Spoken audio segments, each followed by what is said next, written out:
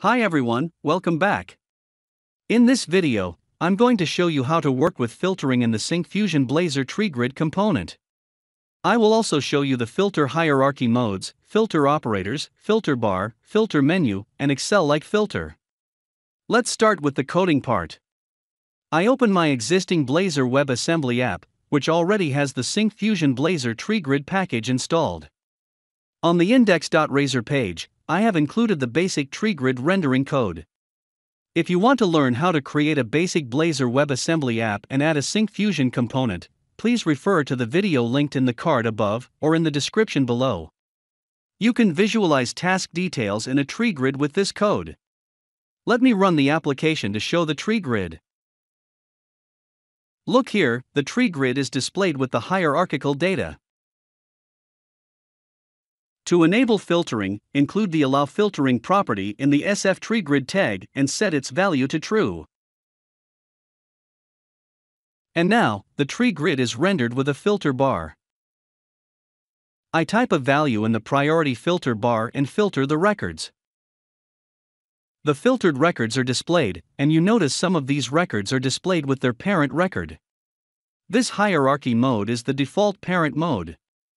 You have other options to filter with child, both, and none using the hierarchy mode property. To change the filter mode to child, I need to include the tree grid filter settings tag and assign the hierarchy mode type as child. Now, when I filter the record based on the priority, the filtered child records are displayed without the parent record. If the filtered records have a child, it will be displayed. When I change the mode value to both, the filtered records are displayed with both the parent and child records. When I change the mode value to none, only the filtered records are displayed. As you can see, the task name value has a diacritic character. When I search for diacritic character parent, the task name with a diacritic character is filtered. Now, I'll show you the different filter operators. The default operator value to filter a column is equal. Now I will show you how to filter tree grid records based on the duration column at initial loading using the equal operator. In the filter settings, I include the tree grid filter columns tag to set the filter on multiple columns.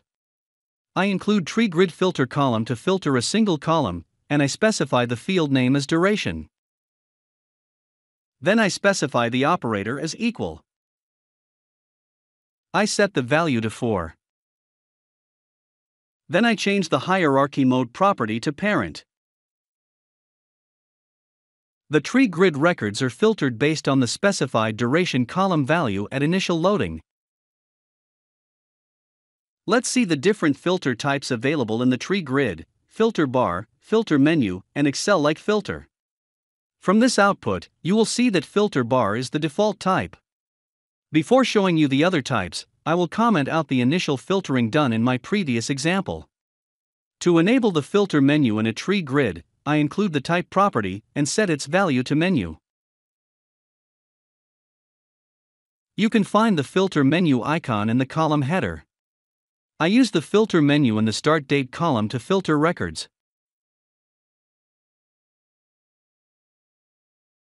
When I change the filter type to Excel, the filter menu will contain checkboxes for column values and operators based on their data type. I can filter the records based on that. A quick recap of what we have seen so far. I showed you how to enable filters in a tree grid with its different modes and types. I also showed you the different filter operators based on the column data type and how to filter on initial loading of a tree grid. You can download a working example from the GitHub link in the description for this video below. You can also see if you're eligible for our community license, which will provide you a free license key to use our products. Thank you for watching this video. If you found this video useful, give it a like and subscribe to our channel.